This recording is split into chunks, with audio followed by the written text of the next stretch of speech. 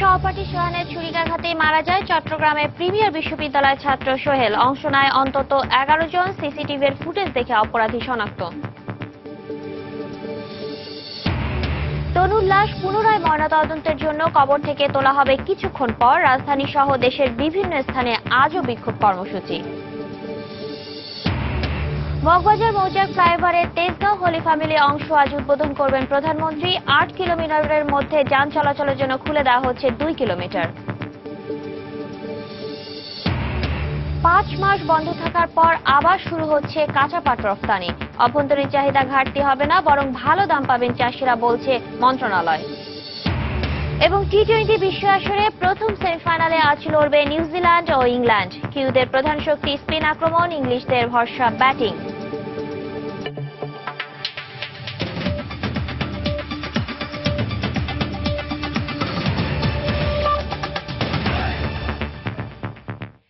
সংবাদের সঙ্গে আছি, আমি সাতিলা শারমিন। সহপাঠী সোহানের ছুরিকাঘাতে মৃত্যু হয়েছে চট্টগ্রামের প্রিমিয়ার বিশ্ববিদ্যালয়ের ছাত্র নাসিম আহমেদ সোহেলের। মাত্র এক মিনিটের এই কিলিং মিশনে সোহান ছাড়াও সরাসরি অংশ নিয়েছে অন্তত বারো জন শিক্ষার্থী এবং বহিরাগত। ঘটনার সময়ে সিসিটিভির ফুটেজ দেখে এদের প্রত্যেককেই শনাক্ত করেছে পুলিশ। এ ঘটনায় গ্রেফতারকৃত পাঁচজন সহ তেরো জনের নাম উল্লেখ করে মামলা করেছে নিহতের পরিবার। বিস্তারিত জানাচ্ছেন কমল দে। নগরীর প্রবর্তক মোড়ে প্রিমিয়ার বিশ্ববিদ্যালয়ের প্রশাসনিক ভবন এবং ক্যাম্পাসের দ্বিতীয় তলায় লাগানো সিসিটিভি ক্যামেরার ফুটেজে পাওয়া গেছে সোহেল হত্যার পুরো চিত্র। দুপুর ঠিক একটা এক মিনিটে ক্যাম্পাসে প্রবেশ করে ছাত্রলীগের একাংশের নেতাকর্মীরা তাদের সবারই হাতে ছিল ধারালো অস্ত্র। ক্যাম্পাসে ঢুকে প্রথমে প্রতিপক্ষের নেতাকর্মীদের মারধর শুরু করে। দুপক্ষের মধ্যে হাতাহাতির ঘটনাও ঘটে। এক পর্যায়ে নীল শার্ট পরিহিত সোহান তার কাছে থাকা ছুরি দিয়ে সোহেলকে উপর্যুপুরি আঘাত করতে থাকে। এক মিনিটের মধ্যে তাকে গুরুতর জখম করে তারা চলে যায়। প্রিমিয়ার বিশ্ববিদ্যালয় কর্তৃপক্ষ ঘটনার পরপরই সেই সিসিটিভি ক্যামেরার ফুটেজ তুলে দিয়েছে। পুলিশের হাতে আমাদের প্রক্টোরিয়াল বডিকেও দায়িত্ব দেওয়া হয়েছে। তারা খুঁজে বের করুক, কে অপরাধ করেছে, কারণ এটা একটা মৃত্যু ঘটেছে এবং এখানে ছেলেরা পড়তে আসে, তারা তো মারামারি করতে আসে না। পরে পুলিশ ঘটনাস্থলে উপস্থিত হয়ে আশরাফুল আলম আশরাফ, তামিমুল আলম তামিম, ওয়াহিদুজ্জামান নিশান, জিয়াউল হাসান চৌধুরী এবং এস এম গোলাম মোস্তফাকে আটক করে। নিহত সোহেলের অনুসারীরা চকবাজার থানায় গিয়ে হত্যাকাণ্ডের সঙ্গে জড়িত থাকার ব্যাপারে তাদের শনাক্ত করে। ওই পাঁচজনকে আমরা অ্যারেস্ট করার পরপরই বাদীপক্ষের এবং এই যাদেরকে তারা মারছে, তাদের পক্ষের ছেলেরা এসে থানায় এসে তাদেরকে আইডেন্টিফাই করছে যে এই- পাঁচজন এই ঘটনার সাথে জড়িত। এছাড়া আমরা আরও সাতজনকে আইডেন্টিফাই করতে সক্ষম হয়েছি, যাদের নাম আমরা পেয়ে গেছি। সোহেলকে হত্যার ঘটনায় চকবাজার থানায় মামলা করেছে তার বাবা, অবসরপ্রাপ্ত সার্জেন্ট আবু তাহের। আটককৃত পাঁচজনকে এই মামলায় গ্রেপ্তার দেখানো হয়েছে। প্রিমিয়ার বিশ্ববিদ্যালয়ের এমবিএ শিক্ষার্থীদের বিদায়ী অনুষ্ঠানে প্রধান অতিথি করাকে কেন্দ্র করে ছাত্রলীগের দু গ্রুপের বিরুদ্ধে জের ধরে হামলায় নিহত হয় শিক্ষার্থী সোহেল। এই ঘটনায় আরও দুজন আহত হয়েছে। কমল দে, সময় সংবাদ, চট্টগ্রাম। অর্থের লোভ আর নেতা হওয়ার বাসনায় ধীরে ধীরে অসহিষ্ণু হয়ে উঠছে ছাত্র সমাজ। আধিপত্য বিস্তারের এই সংস্কৃতিতে উচ্ছৃঙ্খল হয়ে পড়া ছাত্রদের নিয়ন্ত্রণ করতে ব্যর্থ হচ্ছেন শীর্ষ নেতারাও। অনেক ক্ষেত্রে তারাও উস্কানি দিচ্ছেন বলে অভিযোগ রয়েছে। আগে শুধু পারিবারিক দুঃখিত, আগে শুধু পাবলিক বিশ্ববিদ্যালয়ে এ ধরনের ঘটনা ঘটলেও এখন তা ছড়িয়ে পড়ছে প্রাইভেট বিশ্ববিদ্যালয়। ভোগবাদী সমাজ বাস্তবতারই এর মূল কারণ বলে মনে করছেন শিক্ষাবিদ সমাজবিজ্ঞানীরা কমলদের আরও একটি রিপোর্ট। চট্টগ্রাম প্রিমিয়ার বিশ্ববিদ্যালয়ে আগামী একত্রিশে মার্চ এমবিএর শিক্ষার্থীদের বিদায় অনুষ্ঠানে প্রধান অতিথি কে হবেন তা নিয়ে দুপক্ষের বিরোধ। এক পক্ষ চায় বিশ্ববিদ্যালয়ের নিয়ন্ত্রক, সাবেক সিটি মেয়র মহিউদ্দিন চৌধুরী হবেন প্রধান অতিথি। অন্য পক্ষ চেয়েছে বর্তমান মেয়র আজমন নাসিরুদ্দিনকে প্রধান অতিথি করতে। এমনিতেই প্রিমিয়ার বিশ্ববিদ্যালয়ের কর্তৃত্ব নিয়ে এ দু আওয়ামী লীগ নেতার মধ্যে গত কিছুদিন ধরে মনস্তাত্ত্বিক লড়াই চলে আসছিল। তাদের অনুসারী ছাত্রদের মধ্যেও ছিল ক্যাম্পাস দখলের চেষ্টা। কারণ এই ক্যাম্পাস দখল রাখলে প্রবর্তক মোড়, পাঁচ ক্লাইশ গোলপাহাড় মোড় সহ আশপাশের এলাকা এবং বাণিজ্যিক প্রতিষ্ঠান থাকবে তাদের নিয়ন্ত্রণে। একবার ক্ষমতা এলে বৃত্ত আসে। সে যোগ্য হোক, অযোগ্য হোক, কেবলমাত্র গায়ের জোরে নেতা হয়ে যেতে পারলেই হলো। প্রভাব বা আধিপত্য বিস্তার করতে পারলে কোনো না কোনো ধরনের অনৈতিক বা অবৈধ সুযোগ সুবিধা তারা পেয়ে থাকে হয়তো পেয়ে আসছে। সম্প্রতি শিক্ষার্থীদের অসহিষ্ণু মনোভাবে শিক্ষাবিদ অনেকটা উৎকণ্ঠিত। আর তারা মনে করেন সামরিক শাসকরা ছাত্রদের মধ্যে বিত্ত উপভোগ লাভের যে বীজ বুনে গেছেন তার পরিণতি ভোগ করতে হচ্ছে বর্তমান প্রজন্মকে। আগেকার দিনে যারা রাজনীতি করতো তারা পড়াশুনো করে রাজনীতি করতো। এখন পড়াশুনো রাজনীতি হয় না। এখন হয় গায়ের জোরে রাজনীতি মারামারি রাজনীতি। একসময় শুধু সরকারি বিশ্ববিদ্যালয়গুলোতে শিক্ষার্থীদের সংঘাত ছিল উল্লেখ করার মতো, কিন্তু এখন বেসরকারি বিশ্ববিদ্যালয়গুলো সে ধারা থেকে বাদ যাচ্ছে না। প্রাইভেট বিশ্ববিদ্যালয়ে ম্যাক্সিমাম ক্ষেত্রে দেখাচ্ছে ছাত্রদের কিন্তু আর্থিক দিকটা অনেক বেশি শক্তিশালী। এবং তারা কেন জানি আমার মধ্যে একটা আধিপত্যবাদ বা একটা প্রভাব বিস্তার করার জন্য তারা সংঘবদ্ধ হচ্ছে। এবং সংঘবদ্ধ হয়ে তারা কোনো না কোনো রাজনৈতিক দল বা কোনো রাজনৈতিক নেতার আশ্রয় প্রশ্রয় খোঁজার চেষ্টা করছে। এক্ষেত্রে রাজনৈতিক দলগুলোর শীর্ষ নেতারা যতদিন পর্যন্ত ছাত্র সংগঠনগুলোকে নিয়ন্ত্রণ করতে ব্যর্থ হবে, ততদিন পর্যন্ত সংঘাতের এ ধারা চলবে বলে মনে করছেন সমাজ বিজ্ঞানীরা কমল দে সময় সংবাদ, চট্টগ্রাম। কুমিল্লার ভিক্টোরিয়া কলেজের ছাত্রী সোহাগী জাহান তনুর লাশ পুনরায় ময়না তদন্তের জন্য আজ সকালে কবর থেকে তোলার কথা রয়েছে। সকালে সদর উপজেলা নির্বাহী কর্মকর্তা লুৎফু নাহারের তত্ত্বাবধানে সিআইডি এ লাশ উত্তোলন করবেন। এর আগে গত আঠাশে মার্চ মৃত্যুর আট দিন পর পুনরায় ময়না তদন্ত করতে তনুর লাশ কবর থেকে উত্তোলনের আদেশ দেন কুমিল্লা জেলার অতিরিক্ত chief judicial magistrate Zainab Begum. মামলা তদন্তকারী কর্মকর্তা এ কে এম মঞ্জুর আলমের আবেদনের প্রেক্ষিতে তিনি আদেশ দেন। বিশ মার্চ রাতে তনুকে কুমিল্লা সেনানিবাস এলাকায় হত্যার পর লাশ ফেলে রাখে দুর্বৃত্তরা। এ ঘটনায় তার বাবা ক্যান্টনমেন্ট বোর্ডের অফিস সহকারী ইয়ার হোসেন বাদী হয়ে অজ্ঞাতনামা আসামিদের বিরুদ্ধে হত্যা মামলা দায়ের করেন। পরে মামলাটি অধিকতর তদন্তের জন্য সিআইডিতে হস্তান্তর করা হয়। আজ উদ্বোধন হচ্ছে বহুল আলোচিত মগবাজার মৌচাক ফ্লাইওভারের তেজগাঁও থেকে হলি ফ্যামিলি হাসপাতাল পর্যন্ত অংশটি। উদ্বোধন করবেন প্রধানমন্ত্রী শেখ হাসিনা। এ উপলক্ষে সব প্রস্তুতি সম্পন্ন করেছে স্থানীয় সরকার প্রকৌশল অধিদপ্তর, এলজেডি। সব ধরনের ভারী কাজ শেষ করার পর গত কয়েকদিন ধরেই ফ্লাইওভারে চলছে পরিচ্ছন্নতার কাজ। ফিনিশিং ও রঙের কাজও শেষ। ইতিমধ্যেই ল্যাম্পোস্ট বসিয়ে দেওয়া হয়েছে বিদ্যুৎ সংযোগ। সৌন্দর্য বর্ধনের কাজও সেরে ফেলা হয়েছে। পাশাপাশি ফ্লাইওভারে ওঠা ও নামার র্যাম্প এবং এসবের সঙ্গে মূল সড়কের সংযোগের কাজও শেষ হয়েছে। এই ফ্লাইওভারটি নির্মাণ কাজ শুরু হয় দুই হাজার তেরো সালে। এরপর কয়েক দফা মেয়াদ বৃদ্ধির পাশাপাশি এর নির্মাণ ব্যয় তিনশো তেতাল্লিশ কোটি টাকা থেকে বেড়ে দাঁড়ায় বারোশো কোটি টাকা। তবে নকশা ত্রুটি আর নানা সমালোচনার মধ্যেই অবশেষে আট কিলোমিটার দৈর্ঘ্যের ফ্লাইওভারটির দুই কিলোমিটার অংশ আজকে যান চলাচলের জন্য খুলে দেওয়া হচ্ছে।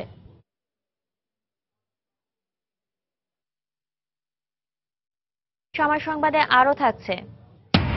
গাইবান্ধায় ত্রাণের ঢেউটিন দিয়ে হচ্ছে উপজেলা চেয়ারম্যানের বাড়ি। ধার করার দাবি করলে প্রশাসন বলছে এ ধরনের সুযোগ নেই। এবং অপরাধের রাসায়নিক পরীক্ষার সুযোগ নেই সিলেটে। ঢাকা ও চট্টগ্রামে নমুনা পাঠাতে লাগছে বাড়তি সময়, বাড়ছে বিচার প্রার্থীদের ভোগান্তি। পাঁচ মাস বন্ধ থাকার পর আবার শুরু হচ্ছে কাঁচা পাট রফতানি। এতে মন্দা ব্যবসার ক্ষতি কিছুটা কাটিয়ে উঠতে পারবেন বলে আশা করছেন ব্যবসায়ীরা। এমন সিদ্ধান্তে অভ্যন্তরীণ চাহিদার বিপরীতে কাঁচা পাটের সরবরাহে কোনো ঘাটতি হবে না, বরং আগামী মৌসুমে চাষিরা পাটের ভালো দাম পাবেন বলে মনে করছে পাট ও বস্ত্র অধিদপ্তর। বিস্তারিত কামরুল হাসান সবুজের রিপোর্টে।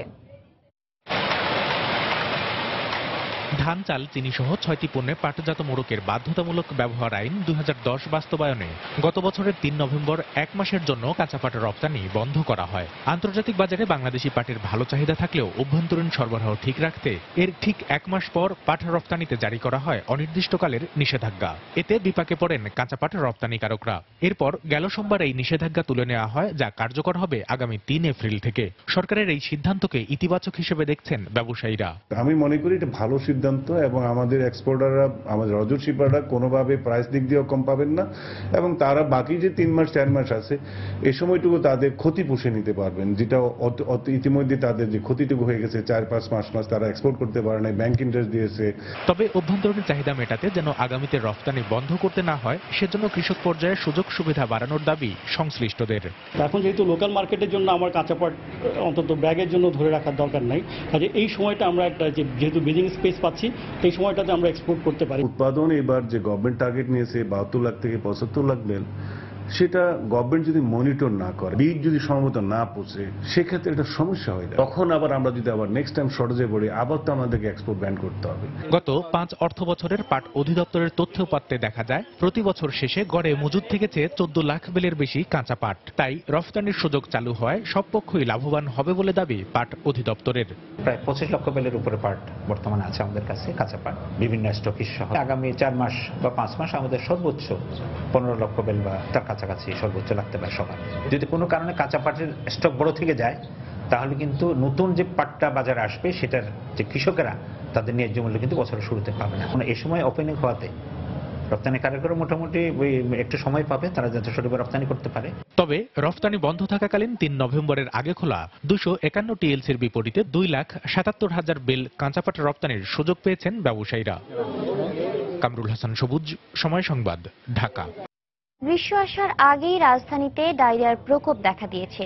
আইসিডিডিআরবির তথ্য মতে মহাখালী কলেরা হাসপাতালে গড়ে প্রতিদিন ডায়রিয়া রোগী ভর্তি হচ্ছেন প্রায় চারশো জন। চিকিৎসকরা জানান, বিশুদ্ধ পানির সংকট এবং খোলা ও বাসি খাবারের কারণে এই রোগে আক্রান্ত হচ্ছেন অনেকে। এদিকে ডায়রিয়া আক্রান্ত রোগীকে বেশি করে ওরসালাইন খাওয়ানোর পরামর্শ চিকিৎসকদের। ফখরুল শাহিনের রিপোর্ট। উপরে ঝুলছে স্যালাইনের ব্যাগ। বিছানায় শুয়ে অপলক তাকিয়ে রয়েছে রসিন। ডায়রিয়ায় আক্রান্ত হয়েই চঞ্চলতা হারিয়েছে আঠারো মাসের এই শিশু। শুধু রসিন নয় মহাখালী কলেরা হাসপাতালের সারি সারি বিছানায় অনেকটা নিথর পড়ে আছে ডায়রিয়ায় আক্রান্ত শত শিশু। টাইমে যেমন পায়খানা করছে বাড়লেই তারপরে যেমন ছয়টা সাতটা বাজে একবারে মানে পাতলা পায়খানা। ভর্তি নিল নেওয়ার পরে বেবিজিং দিল আর এই স্যালাইন দিছে বলছে বাথরুম হইলে খাওয়াবেন। পাতলা পায়খানা বমি জ্বর। ওষুধ দিছে স্যালাইন দিছে পরে এখন একটু অবস্থা একটু জ্বরটা কমছে আর পাতলা পায়খানাটা একটু কমছে। বয়স্করাও রেহাই পাচ্ছেন না পানিবাহিত এই রোগ থেকে। সকালে খাওয়া দাওয়া করার পর থেকে মানে পাতলা পায়খানা শুরু হয়েছে যতদূর সম্ভব হয়তো খোলা খাবার খাইছিলাম।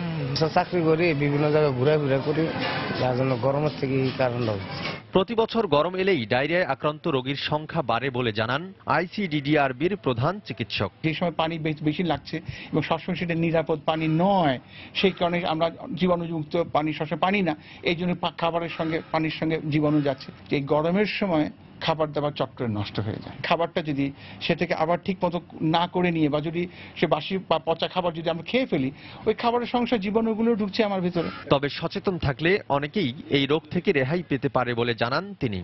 প্রত্যেকবার খাবারের আগে এবং ওয়াশরুম থেকে আসার পরে সব সাবান দিয়ে ভালো করে হাত ধুয়ে না। এবং পয় নিষ্কাশন ব্যবস্থাটা এটাও খেয়াল রাখতে হবে যেন যা যা আপনার ময়লা যা হচ্ছে সেটা যেন সঠিকভাবে ডিসপোজ অফ করা যায়। গবেষকরা বলছেন প্রতি বছর দেশে প্রায় সত্তর ভাগ শিশু আক্রান্ত হয় পানিবাহিত রোগে। তাই শিশুদের প্রতি আরও বেশি যত্নশীল হওয়ার পরামর্শ তাদের। ফখরুল শাহিন সময় সংবাদ ঢাকা। সিলেট অঞ্চলে খুন ধর্ষণ সহ বিভিন্ন ফৌজদারি মামলা প্রমাণের জন্য ভিসেরা ডিএনএ পরীক্ষা সহ সব রাসায়নিক পরীক্ষার জন্য নমুনা ঢাকা ও চট্টগ্রামে পাঠাতে হয়। এতে মামলা নিষ্পত্তিতে সময়ক্ষেপণের কারণে বিচার প্রার্থীদের ভোগান্তির শেষ নেই। এসব দিক বিবেচনায় এনে ওসমানী মেডিকেল কলেজ চত্বরে অবকাঠামো নির্মাণ করা হয়েছিল।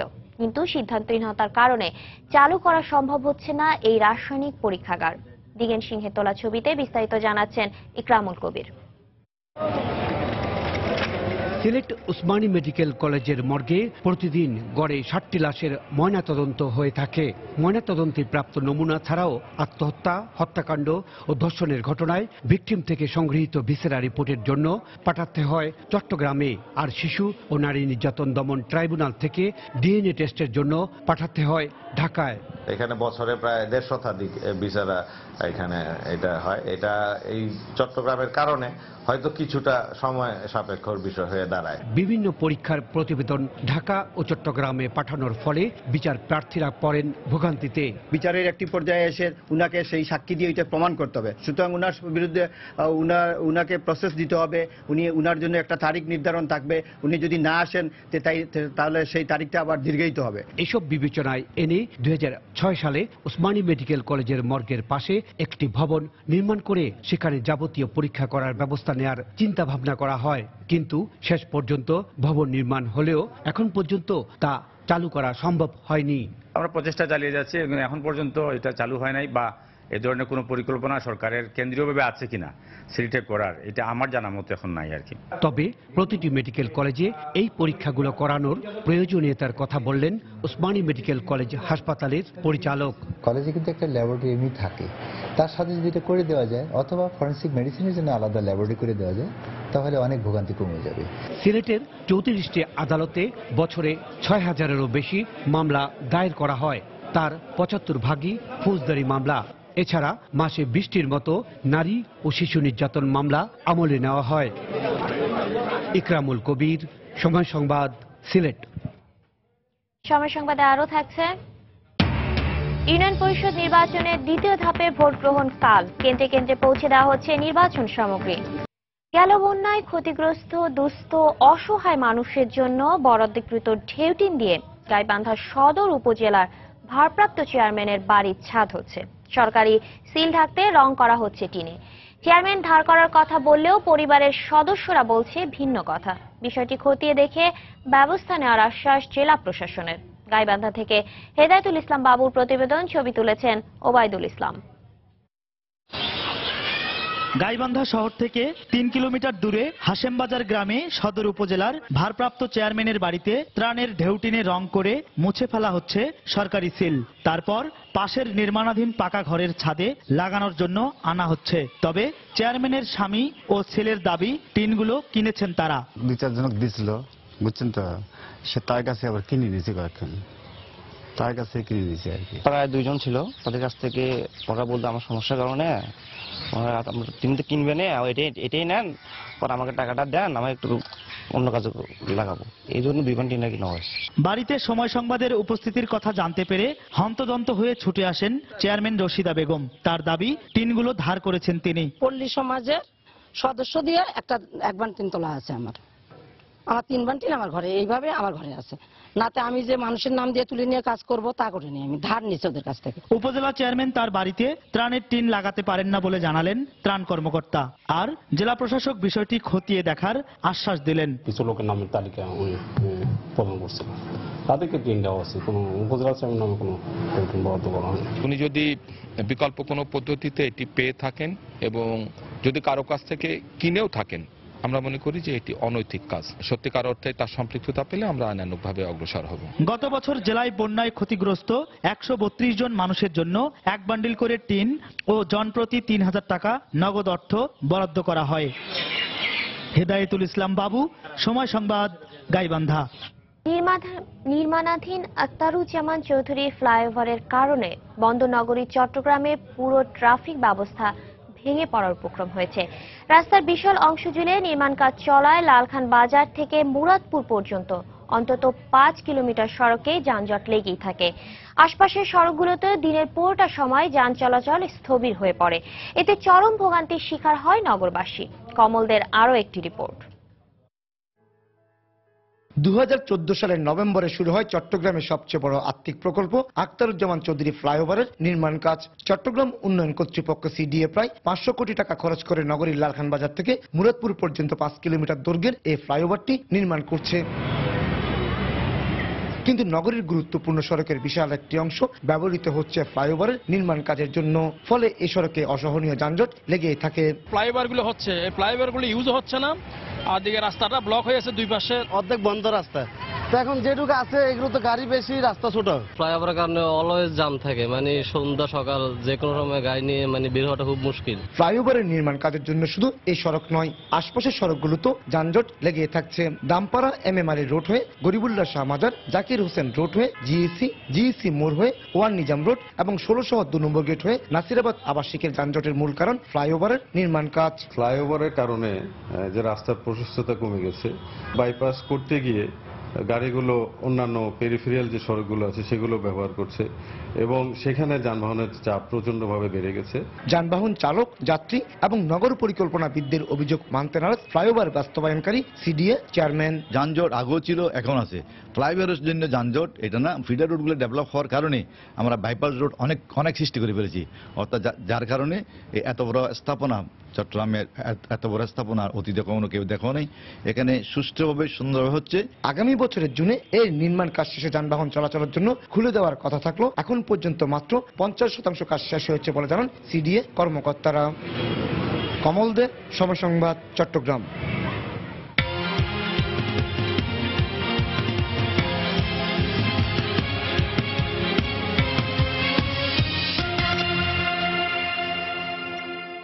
দ্বিতীয় দফা ইউনিয়ন পরিষদ নির্বাচনের ভোট গ্রহণ কাল। এরই মধ্যে সব ধরনের প্রস্তুতি সম্পন্ন করেছে নির্বাচন কমিশন। সকাল থেকে নির্বাচনী কর্মকর্তাদের হাতে তুলে দেওয়া হচ্ছে ভোট গ্রহণের প্রয়োজনীয় সামগ্রী। প্রতিটি নির্বাচনী এলাকায় সংশ্লিষ্ট রিটার্নিং কর্মকর্তার কাছ থেকে নির্বাচন সামগ্রী বুঝে নিচ্ছেন তারা। সন্ধ্যার মধ্যে কেন্দ্রে কেন্দ্রে পৌঁছে যাবে ব্যালট পেপার ও ব্যালট বাক্স সহ নির্বাচনী সব সামগ্রী। এরপর প্রিজাইডিং অফিসার, সহকারী প্রিজাইডিং অফিসার, পোলিং অফিসার ও নিরাপত্তা কর্মীরা তাদের দায়িত্ব বুঝে নেবেন। শান্তিপূর্ণভাবে দ্বিতীয় দফা নির্বাচন সম্পন্ন হবে বলে আশা সংশ্লিষ্টদের। এদিকে ভোট কেন্দ্রগুলোতেও নিরাপত্তা ব্যবস্থা জোরদার করা হয়েছে। দ্বিতীয় দফায় আগামীকাল ছয়শো তেতাল্লিশটি ইউনিয়ন পরিষদে নির্বাচন অনুষ্ঠিত হবে। এর আগে বাইশ মার্চ সাতশো বারোটি ইউনিয়নে প্রথম ধাপে নির্বাচন অনুষ্ঠিত হয়।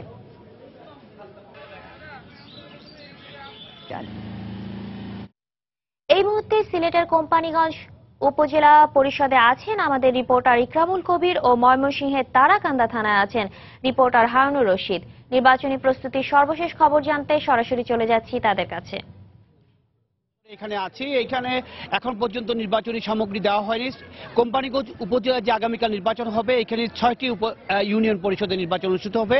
এই ছয়টি ইউনিয়ন পরিষদের জন্য চুয়ান্নটি কেন্দ্রে যে নির্বাচনী সামগ্রী, ব্যালট বাক্স, ব্যালট পেপার সহ অন্যান্য নির্বাচনী সামগ্রী নেওয়ার জন্য এখানে আমি দেখতে পাচ্ছি সকাল থেকে শত শত মানুষ এখানে জড়ো জড়ো হয়েছে। তাদের বিভিন্ন কেন্দ্রগুলোর যে আইন শৃঙ্খলা রক্ষা বাহিনী নিয়োজিত আছে এবং বিভিন্ন পুলিং এজেন্ট প্রিজাইডিং অফিসার সব polling officer assistant presiding officer সবাই এখানে জড়ো হয়েছে। আপনারা দেখতে পাচ্ছেন যে এখানে শত শত নারী, পুরুষ এখানে জড়ো হয়েছে সেই নির্বাচনী সামগ্রী নেওয়ার জন্য। আমি দেখতে পাচ্ছি সামনেও বেশ কিছু যানবাহন এখানে আছে। এই এখন প্রাথমিক যে ফর্মালিটি যেটা বলা হয়, বিভিন্ন কেন্দ্রের প্রিজাইডিং অফিসাররা সেই কাগজপত্র বুঝে নিচ্ছে এবং কাগজপত্র বুঝে নেওয়ার পরে একে একে, এক কেন্দ্রগুলোর জন্য নির্বাচনী সামগ্রী দেওয়া হবে।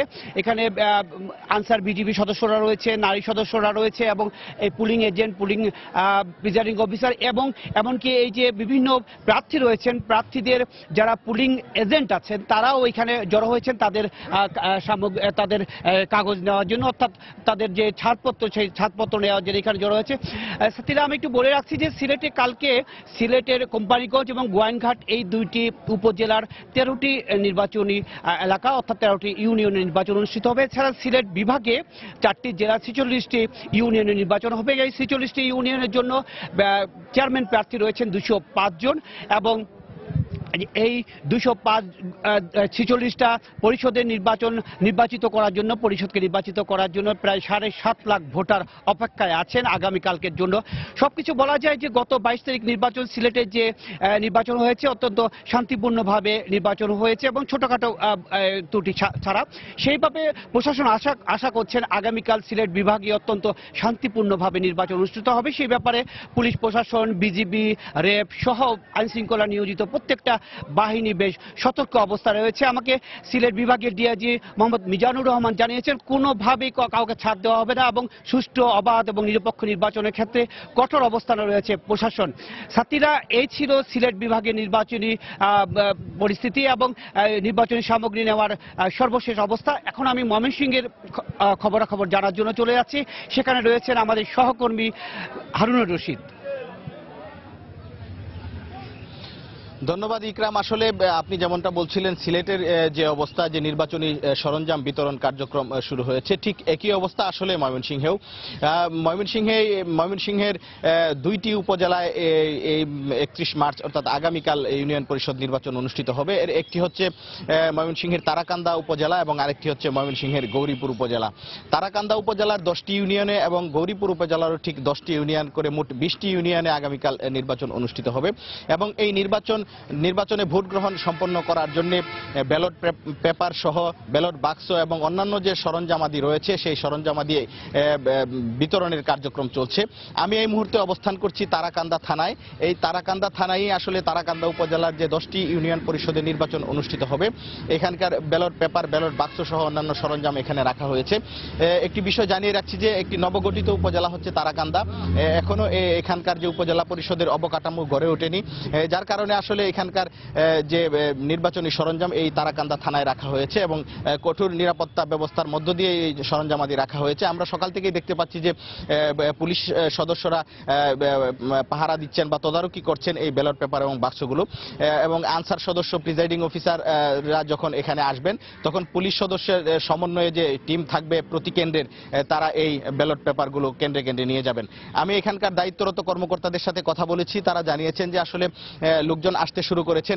ইতিমধ্যেই আপনারা দেখতে পাচ্ছেন যে আসলে পুলিশ সদস্যরা থানা চত্বরে এসে উপস্থিত হচ্ছেন জড়ো হচ্ছেন এবং অন্যান্য কর্মকর্তারা আসলেই আসলে এগুলো বিতরণ কার্যক্রম শুরু হবে। আর আমি একটি বিষয় জানিয়ে রাখছি যে ভোট গ্রহণ শান্তিপূর্ণভাবে সম্পন্ন করার জন্য আইন শৃঙ্খলা বাহিনীর পক্ষ থেকে কঠোর পদক্ষেপ গ্রহণ করা হয়েছে বলে এখানকার যে দায়িত্বরত সিনিয়র পুলিশ কর্মকর্তারা রয়েছেন, তারা জানিয়েছেন।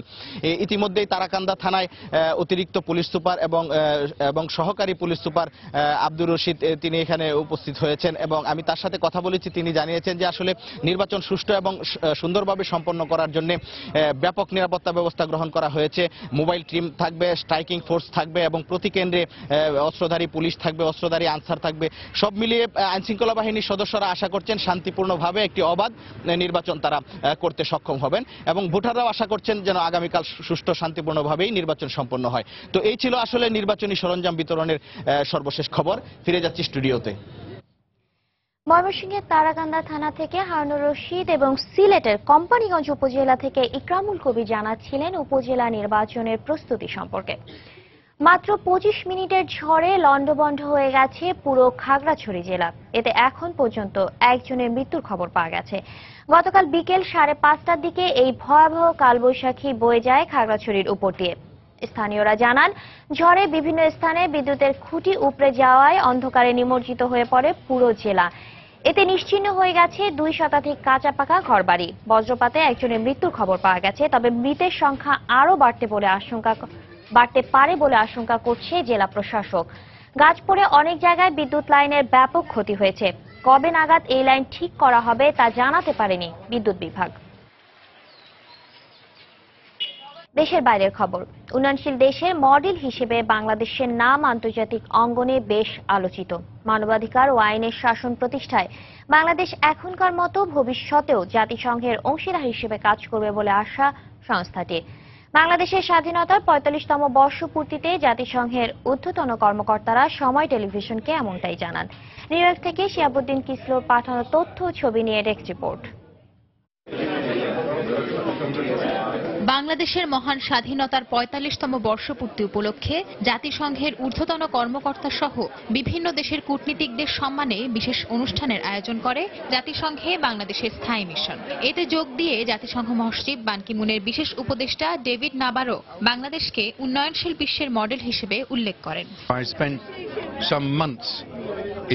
আমি জাতিসংঘের টেকসই উন্নয়ন লক্ষ্য অর্জনের বিষয়টি নিয়ে কাজ করি। এক্ষেত্রে বাংলাদেশের অবস্থান সম্পর্কে জানতে আমি কয়েক মাস দেশটির বিভিন্ন জায়গায় ঘুরেছি। এদেশের মানুষ সংকট থেকে ঘুরে দাঁড়িয়ে দুঃসময়কে জয় করার অসাধারণ ক্ষমতা রাখে। অনুষ্ঠানে জাতিসংঘে দায়িত্বরত কর্মকর্তারা সাম্প্রতিক সময়ে বিভিন্ন ক্ষেত্রে বাংলাদেশের সাফল্যের প্রশংসা করেন. শান্তিরক্ষী মিশন সহ বিভিন্ন ক্ষেত্রে বাংলাদেশের ভূমিকা সর্বজন স্বীকৃত মানবাধিকার ও আইনের শাসন প্রতিষ্ঠায় বাংলাদেশকে অংশীদার হিসেবে পেয়ে আমরা আনন্দিত তারা আন্তর্জাতিক বিষয়গুলোকে অত্যন্ত গুরুত্বের সঙ্গে নেয় আশা করি ভবিষ্যতেও জাতিসংঘের সঙ্গে বাংলাদেশ একাত্ম হয়ে কাজ করবে uh, Bangladesh as a partner in the area of human rights and the rule of law.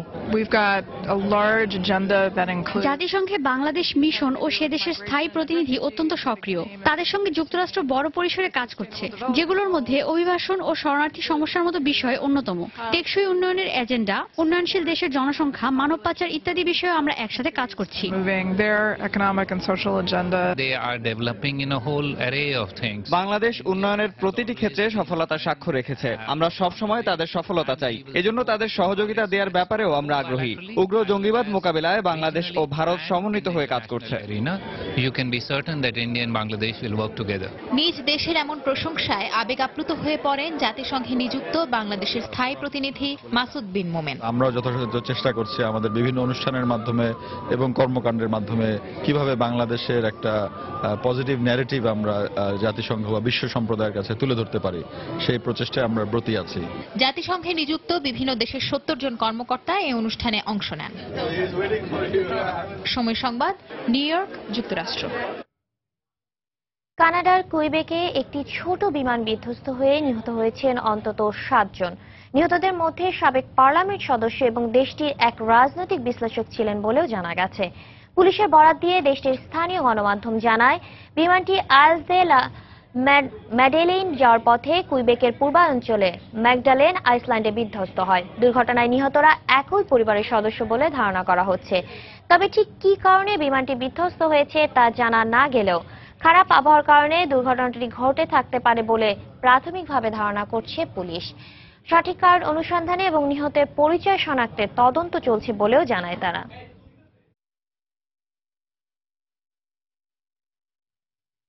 ইরাকের রাজধানী বাগদাদে আত্মঘাতী বোমা হামলায় সাতজন নিহত হয়েছেন।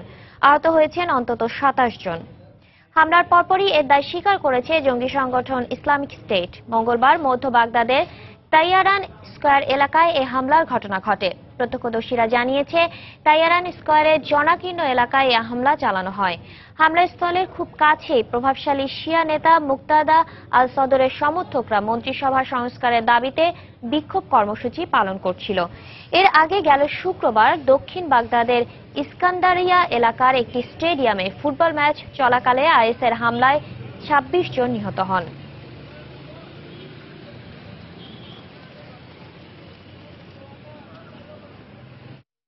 সিরীয় প্রেসিডেন্ট বাসার আল আসাদ বলেছেন, সরকারি বাহিনীর সাম্প্রতিক সাফল্য দেশটির রাজনৈতিক সমাধান আনতে উল্লেখযোগ্য ভূমিকা রাখবে। আর আসাদের রাজনৈতিক উপদেষ্টা বুথাইয়া সাবান অভিযোগ করেছেন, প্রতিবেশী দেশ তুরস্ক অবাধে জঙ্গিদের সিরিয়ায় প্রবেশের সুযোগ করে দিচ্ছে। এদিকে সিরিয়া সংকটের শান্তিপূর্ণ সমাধান আনতে যে কোনো সহায়তা করতে চীন সরকার প্রস্তুত রয়েছে বলে জানিয়েছে চীনা পররাষ্ট্র মন্ত্রণালয়। সম্প্রতি পালমিরার সাফল্যের পর থেকে সরকারি বাহিনীর অগ্রাভিযান অব্যাহত রয়েছে। বুধবার সিরিয়ার সেনাবাহিনী জানায়, আইএসের কাছ থেকে হোমস প্রদেশের কৌশলগতভাবে গুরুত্বপূর্ণ আলকারিয়াতিন শহর দখলের দোরগোড়ায় রয়েছে তারা। পালমিরা থেকে দামেস্ক প্রদেশের কালামুন পর্যন্ত সংযোগ সড়কের মাঝামাঝি অবস্থিত আলকারিয়াতিন শহর দখল করতে পারলে আইএস জঙ্গিদের সরবরাহ অনেকটাই বাধাগ্রস্ত হবে বলে মনে করা হচ্ছে। সেনাবাহিনীর সফলতা নিয়ে প্রেসিডেন্ট বাশার আল আসাদ বলেছেন, জঙ্গিদের বিরুদ্ধে সাম্প্রতিক সাফল্য সিরিয়া সংকটের শান্তিপূর্ণ রাজনৈতিক সমাধানের প্রক্রিয়াকে আরও গতিশীল করবে। রুশ গণমাধ্যমে দেওয়া সাক্ষাৎকারে জেনেভা শান্তি আলোচনায় তার সরকার যথেষ্ট আন্তরিক ছিল বলেও মন্তব্য করেন তিনি। আসাদ অভিযোগ করেন, সৌদি আরব, ব্রিটেন ও ফ্রান্স চায় জঙ্গিদের বিরুদ্ধে লড়াইয়ে সরকারি বাহিনী পরাজিত হোক, যাতে তারা শান্তি আলোচনায় আসাদ সরকারের ওপর আরও শর্ত চাপিয়ে দিতে পারে। এদিকে চীনা পররাষ্ট্র মন্ত্রণালয় জানিয়েছে, চীন সরকার চায় সিরিয়ার সত্যিকার অর্থে সংঘাত ও সংঘর্ষ বন্ধ হোক। নিরাপত্তা পরিষদের স্থায়ী সদস্য হিসেবে আমরা জাতিসংঘকে বলেছি, কেবল রাজনৈতিক সমাধানই সিরিয়ায় শান্তি আনতে পারে। এ ব্যাপারে চীন সরকার তার সাধ্যমতো কাজ করবে। ইতোমধ্যে সেখানে মানবিক সহায়তা পাঠানো হয়েছে। আমরা বিশ্বাস করি সব পক্ষের সম্মিলিত প্রচেষ্টা দেশটিতে যুদ্ধ ও সংঘাত বন্ধ করে শান্তি ফিরিয়ে আনতে পারবে। এরই মধ্যে আসাদের রাজনৈতিক উপদেষ্টা বোথাইনা সাবান বলেছেন, সিরিয়ায় যুদ্ধ ও সংঘাতের জন্য তুরস্ক সরকার দেই গণমাধ্যমে দেয়া সাক্ষাৎকারে তিনি বলেন, জঙ্গি পাঠিয়ে তুর্কি সরকার সিরিয়ায় আগ্রাসন চালাচ্ছে। তুরস্কের সাথে আমাদের প্রায় এক হাজার কিলোমিটারের সীমান্ত না থাকলে সংকট অনেকটাই কমে যেত। এরদোয়ান সরকার সারা বিশ্বে সন্ত্রাসবাদ ছড়িয়ে দিয়ে বিশ্বকে ধ্বংস করতে চায়। শুধু তাই নয় সিরিয়া ও ইরাক থেকে জঙ্গিদের মাধ্যমে যাওয়া তেল তারা কিনে নিচ্ছে। আন্তর্জাতিক সম্প্রদায়কে তাই এখনই তুরস্কের ব্যাপারে সচেতন হতে বলছে। সিরিয়া লড়াইরত বেশিরভাগ বিদেশি নাগরিকই তুরস্ক সীমান্ত দিয়ে দেশটিতে প্রবেশ করেছে বলে বিভিন্ন সময়ে গণমাধ্যমের খবরে উঠে এসেছে। শুধু তাই নয় একই পথে সিরিয়া থেকে ফিরে ইউরোপের বিভিন্ন দেশে জঙ্গিরা হামলার পরিকল্পনা করছে বলে জানিয়েছেন নিরাপত্তা কর্মকর্তারা। রঞ্জন শুভ্র, সময় সংবাদ। টি টোয়েন্টি বিশ্ব আসর প্রসঙ্গ। আজ টি টোয়েন্টি বিশ্ব আসরের প্রথম সেমিফাইনালে নিউজিল্যান্ডের মুখোমুখি হবে ইংল্যান্ড। প্রথমবারের মতো কোনো বিশ্ব আসরের শিরোপা জিততে উন্মুখ কিউইদের সামনে বাধা দেয়াল হতে প্রস্তুত মর্গানের দল। কারণ টি টোয়েন্টি বিশ্ব আসরে নিজেদের দ্বিতীয় ট্রফি ঘরে তুলতে ব্ল্যাক ক্যাপসের হারানোই এখন তাদের মূল লক্ষ্য। দিল্লির ফিরোজ শাহ কোটলায় বাংলাদেশ সময় ম্যাচটি শুরু হবে সন্ধ্যা সাড়ে সাতটায়। নিউজিল্যান্ডের সাথে ইংল্যান্ড। তাসমান সাগর পারের দ্বীপ দেশটির সাথে ক্রিকেটীয় অভিজাত শক্তির এ লড়াই খুব বেশি ঐতিহাসিক না হলেও বিশ্ব আসর বলে কথা। সে কারণেই মারমার কাট কাট ধুমধুমার ক্রিকেটে বিনোদনের পাশাপাশি নিজেদের শ্রেষ্ঠত্ব প্রমাণের লড়াইয়ে সেমিফাইনালের মঞ্চে মুখোমুখি এ দুদল এমনিতেই আসরে এখন পর্যন্ত একমাত্র অপরাজিত দল নিউজিল্যান্ড। আত্মবিশ্বাসের দিক থেকে তাই তাদের সমকক্ষ কেউ নেই। কিউই একাদশে অবশ্য স্যান্টনার ও সোধির সাথে নাথান ম্যাককালাম থাকছেন না। তার জায়গায় পেসার মিলনের সাথে জুটি বাঁধবেন ম্যাকলেনেঘান আসরে ব্যাটিং গড়ের দিক থেকে ব্ল্যাক ক্যাপসরা কিছুটা পিছিয়ে। ইংলিশ ব্যাটসম্যানরা যেখানে উনত্রিশ গড়ে নয় দশমিক এক শূন্য রান রেটে পুরো আসর জুড়ে রান সংগ্রহ করেছেন, সেখানে কিউই ব্যাটসম্যানরা একুশ দশমিক এক সাত গড়ে সাত দশমিক চার এক রান রেটে রান তুলেছেন। বোলিং এ অবশ্য যথেষ্ট কিপটে মাইক হ্যাসনের শিষ্যরা। প্রতি বারো দশমিক নয় সাত রানে একটি উইকেট এবং পাঁচ দশমিক নয় সাত গড়ে ওভার প্রতি রান দিয়েছেন তারা। অন্যদিকে ইংলিশে উইকেট নিয়েছে প্রতি আঠাশ রানে একটি আর ওভার প্রতি রান দিয়েছে আট দশমিক নয় পাঁচ করে। স্পিনিং কন্ডিশন হওয়াতে কিউইরা অনেকটাই স্বস্তিতে। পুরো আসরে নিউজিল্যান্ডের স্পিনাররা ছত্রিশ ওভার চার বল করে একশো আটাশি রান দিয়ে নয় দশমিক চার শূন্য গড়ে উইকেট নিয়েছে বিশটি। আর ইংলিশ স্পিনাররা চব্বিশ ওভার বল করে উনত্রিশ দশমিক সাত পাঁচ গড়ে দুইশো আটত্রিশ রান দিয়ে উইকেট নিয়েছে মাত্র আটটি। দু দলের জন্য এই কন্ডিশন খুব একটা বেশি সুবিধার নয়। আর টি টোয়েন্টি ক্রিকেট এতই ছোট পরিসরের যে কোনো সময় যে কোনো কিছুই ঘটতে পারে। এক কথায় বলব জয়ের লক্ষ্যেই খেলব। ইংলিশরা অবশ্য রেকর্ড নয়। ম্যাচের দিনটাকে নিজেদের করে নিয়ে দিল্লি জয় করে কলকাতায় পাড়ি জমাতে চায়। ভরসার জায়গাটা তাই একেবারে নরবরে নয় মর্গ্যানের দলে ফিরছেন ওপেনার অ্যালেক্স হেলস পেসার হিসেবে টপলেও যোগ দিচ্ছেন উইলি ও জর্ডানের সাথে। কোনো কিছুই ভাবতে চাই না শুধু জয় চাই। দলের সবাই সেটা জানে। শুধু একটি ভালো দিনের অপেক্ষা উইকেট দল সবই নিয়ে ভেবেছি আমরা প্রস্তুত। স্পিনারদের সাফল্যে কিউইরা এগিয়ে থাকলেও ব্যাটসম্যানদের ক্ষেত্রে অবশ্য ইংলিশেই এগিয়ে। বাটলার রুট জেসন রয়দের স্ট্রাইক রেট যেখানে একশো ত্রিশের উপরে সেখানে গাপটিল টেইলর উইলিয়ামসনরা অবশ্য রয়েছেন কিছুটা পিছিয়ে। প্রস্তুত মঞ্চ, প্রস্তুত যোদ্ধারা। বাইশ গজের উইকেটে সবচেয়ে আকর্ষণীয় লড়াইটা এখন দেখার অপেক্ষা। সজল মিত্র, রিচার্ড, সময় সংবাদ। বিশ্ব নারী টি টোয়েন্টি আসরের খবর। শিরোপা লড়াইয়ে আরও এক ধাপ এগিয়ে যেতে আসরের প্রথম সেমিফাইনালে বর্তমান চ্যাম্পিয়ন অস্ট্রেলিয়ার মুখোমুখি হবে ইংল্যান্ড নারী ক্রিকেট দল। দিল্লিতে আজ ম্যাচটি শুরু হবে বাংলাদেশ সময় বিকেল তিনটায়। গেল আসরে অজি নারীদের কাছে হেরে ফাইনালের মঞ্চ থেকে বিদায় নিতে হয় ইংলিশ নারী দলকে। এবারে প্রতিশোধের সুযোগ সাবেক চ্যাম্পিয়ন ইংল্যান্ডের সামনে। দুর্দান্ত ফর্মে থাকা ইংলিশ নারীরা সুপার টেনে হারিয়েছে বাংলাদেশ, ভারত, ওয়েস্ট ইন্ডিজ আর পাকিস্তানের মেয়েদের। গ্রুপ পর্বে অপরাজিত থাকার রেকর্ড নিয়ে চ্যাম্পিয়ন হয়ে শীর্ষ চারে স্থান করে নিয়েছে ইংল্যান্ড। সেমিতেও জয়ের ধারা ধরে রেখে ফাইনালে ওঠার লক্ষ্য নিয়ে ওজি নারীদের বিপক্ষে মাঠে নামতে প্রস্তুত শার্লট এডওয়ার্ডসের দল। এদিকে, গ্রুপ পর্বে চারটি ম্যাচের মধ্যে তিনটিতে জয় পেয়ে গ্রুপ এর দ্বিতীয় দল হিসেবে সেমির টিকিট নিশ্চিত করেছে তিনবারের চ্যাম্পিয়ন অস্ট্রেলিয়া। তবে চতুর্থ শিরো- শিরোপা ঘরে তোলার জন্য ফাইনালের পথে এগিয়ে যেতে ইংল্যান্ডকে কোনো রকম ছাড় দেবে না মেগ লাইনিং এর দল। বিশ্বকাপ বাছাই পর্বের খবর। দক্ষিণ আমেরিকান অঞ্চলের বিশ্বকাপ বাছাই পর্বের ম্যাচে জয় পেয়েছে মেসির আর্জেন্টিনা। দুর্বল বলিভিয়াকে দুই শূন্য গোলে হারিয়েছে আজ আলভি সেন্তেরাসরা এদিকে আর্জেন্টিনার জয়ের দিনে প্যারাগুয়ের সাথে দুই দুই দুই গোলে ড্র করে পয়েন্ট খুঁয়েছে ব্রাজিল।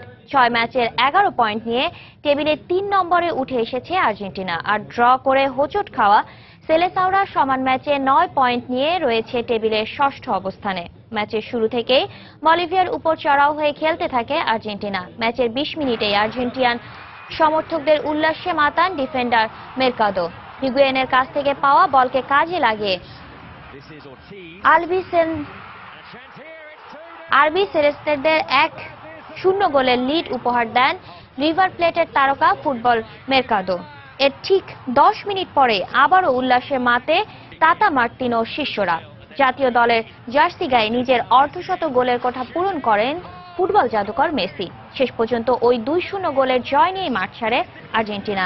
আরেক ম্যাচে প্যারাগুয়ের বিপক্ষে স্পষ্ট ফেভারিট হয়ে মাঠে নেমেছিল ব্রাজিল, কিন্তু ম্যাচের শুরুর দিকে দুই গোল হজম করে পিছিয়ে পড়ে দুঙ্গার দল। তবে দ্বিতীয়ার্ধে উনআশি মিনিটে অলিভিয়েরা ও যোগ করার সময়ে দানি আলভেজ গোল করলে কোনো রকমে হার এড়িয়ে ড্র করে সেলেসাওরা। আন্তর্জাতিক প্রীতি ম্যাচের খবর। জার্মানির মাঠে আতিথ্য নিয়ে বড় ব্যবধানে হারের লজ্জা পেয়েছে চারবারের বিশ্ব চ্যাম্পিয়ন ইতালি।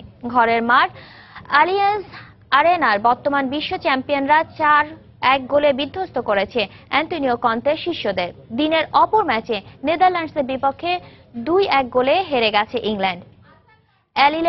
অ্যালিয়েন্স অ্যারেনার ম্যাচ শুরু থেকেই ছন্দে ছিল জার্মানরা। খেলার চব্বিশ মিনিটে টনি ক্রুসের গোলে এগিয়ে যায় স্বাগতিকরা। প্রথমার্ধের শেষ মিনিটে ব্যবধান দ্বিগুণ করেন মারিও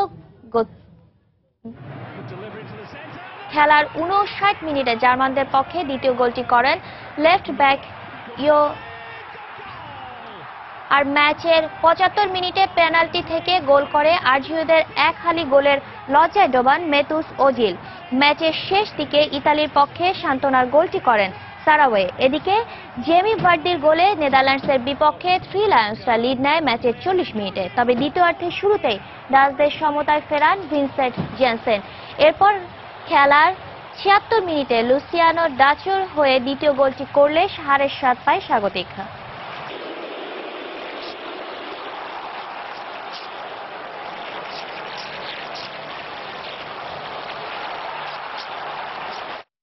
এ শিশু সংবাদ জানিয়ে দিচ্ছে আরেকবার। সহপাঠী সোহানের ছুরিকাঘাতে মারা যান চট্টগ্রামের প্রিমিয়ার বিশ্ববিদ্যালয়ের ছাত্র সোহেল। অংশ নেয় আরও অন্তত এগারো জন। সিসিটিভির ফুটেজ দেখে অপরাধী শনাক্ত। তনুর লাশ পুনরুদ্ধার ময়নাতদন্তের জন্য কবর থেকে তোলার প্রক্রিয়া শুরু। রাজধানী সহ দেশের বিভিন্ন স্থানে আজও বিক্ষোভ কর্মসূচি। মগবাজার মৌজা ফ্লাইওভারের তেজগাঁও হলি ফ্যামিলি অংশের উদ্বোধন করলেন প্রধানমন্ত্রী। আট কিলোমিটারের মধ্যে যান চলাচলের জন্য খুলে দেওয়া হচ্ছে দুই কিলোমিটার। পাঁচ মাস বন্ধ থাকার পর আবার শুরু হচ্ছে কাঁচা পাট রফতানি। অভ্যন্তরীণ চাহিদার ঘাটতি হবে না, বরং ভালো দাম পাবেন চাষিরা, বলছে মন্ত্রণালয়। এবং টি টোয়েন্টি বিশ্ব আসরের প্রথম সেমিফাইনালে আজ লড়বে ইংল্যান্ড ও নিউজিল্যান্ড কিউইদের প্রধান শক্তি, স্পিন আক্রমণ, ইংলিশদের ভরসা ব্যাটিং। এই ছিল এখনকার মতো। যে কোনো খবর পেতে ভিজিট করুন সময় নিউজ ডট টিভি যে কোনো Bangla link Robi Citycell number থেকে সময় সংবাদের খবর, অনুষ্ঠান সম্পর্কে জানতে এবং যে কোনো তথ্য সময় সংবাদকে জানাতে ডায়াল করুন one six two four two নম্বরে। এছাড়া এইমাত্র পাওয়া খবর মোবাইলে পেতে এস এম এস করুন স্টার স্পেস এস এম লিখে পাঠিয়ে দিন one six two four two নম্বরে। সঙ্গে থাকুন সময়ের।